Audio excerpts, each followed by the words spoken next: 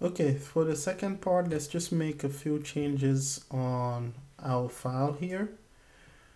Uh, let's save it as a new file. So file, uh, save as, uh, let's call it slides.html. Okay and let's make a few changes. So for the first part let's go into our boxes and let's wrap let's add a new element inside of it that's gonna wrap all the boxes. So we're gonna add a new element a div with the class of slides. And it's gonna wrap all the boxes inside of it so now we're going to do just a little math here. So let's go back to our CSS and add this new element with slides. Class. And we basically just want to add three rules to it. The first one we're going to give it a width. The width is going to be the total width of all the slides combined. So we have each slide here is 800 pixels and we have um, seven of them so it's going to be 5600 pixel wide. So that's going to be enough space for all of them um, the height is going to be the same at 500 pixels. And then finally we're gonna go ahead and listen to the transition again but this time we're going to be listening to the transform rule.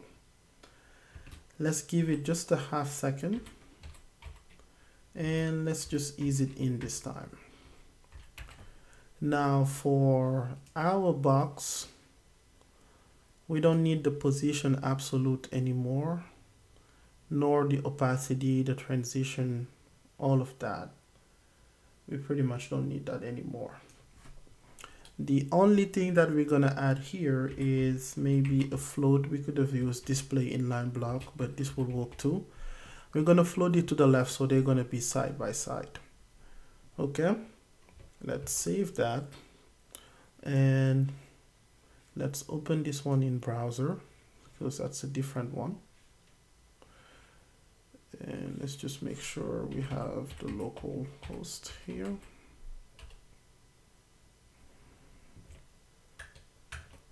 Okay. Now now let's make sure that the overflown uh, parts is not showing. Let's just add it to the main parent element here and do overflow. Hidden.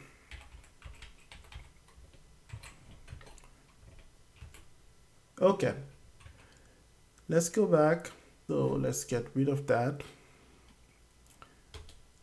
and add a new set of rules. Just like we did uh, earlier with the crossfade, we are targeting the check state on the boxes when, but this time around, we are going for the slides. So basically, if we look at our markup, we are saying anytime this one is checked, go ahead and find boxes and slides. But what is different this time is we're moving the entire slide element. So we're going to be using the transform property and we're going to translate it on the x-axis, so horizontally. The very first one is at the zero position, so that's fine. And then the next ones, we're going to make them go from right to left. So since they're traveling right to left, we're going to be using negative uh, position value. But if you look closely, each of them is a multiple of 800. 0 times 800 is 0. Um, 800 times 1, 2, 3, 4, 5, 6, uh, 7 or 8. Okay. So basically that's all it is that anytime now uh, we click on one of those labels, it's going to make the entire slide container move uh, either from the left or to the right okay? Let's see the effect here.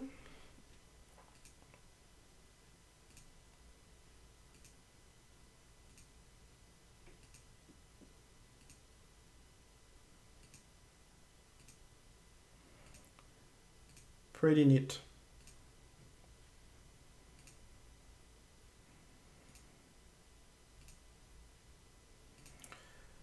So very nice. In just um, with just a couple um, tweaks here, we have transformed our crossfade that we had earlier into um, a coin slider, which is a pretty neat effect. Uh, lastly, we can add a video at the end here. Let's go ahead and add a video. So in here, at the very last one, I went ahead and found out the Kung Fu Panda trailer. We're gonna add it at the end here. There we have it. So it's following the same structure. It has a class of box. We're just adding um, a gold color here. Uh, div class of video inside of it um, giving it a width and the height of the same and then we have an iframe inside here. So now let's just make sure that we're adding um, a rule for this gold box. Let's go ahead and here add one for the label. So that's gonna be slide 8 now. And let's use GD for gold since we already have a G in here. Um, for the input, let's do the same.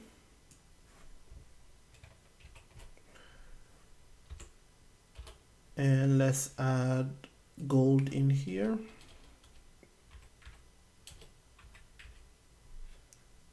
And slide 8. And finally, um, let's make sure that the aspect ratio is taken care of. There's some uh, video CSS that we can add at the end here. Very nice technique um, that allows us to maintain a nice aspect ratio. So let's go ahead and look at our newly added element. Let's refresh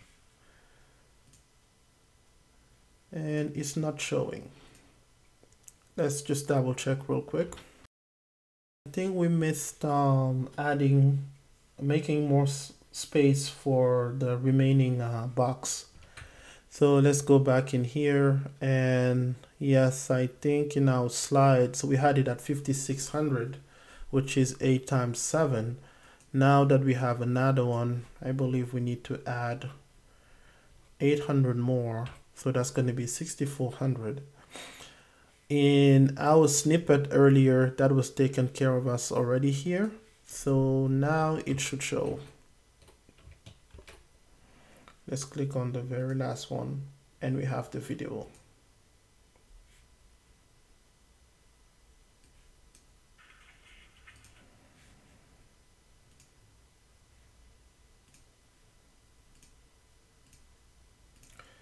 Very nice. So now you see that we have created a content slider. We can add video, we can add HTML, we can add anything else uh, using this technique. Uh, so that's all we had for today. Hopefully you enjoyed it and uh, until the next hack. Thank you.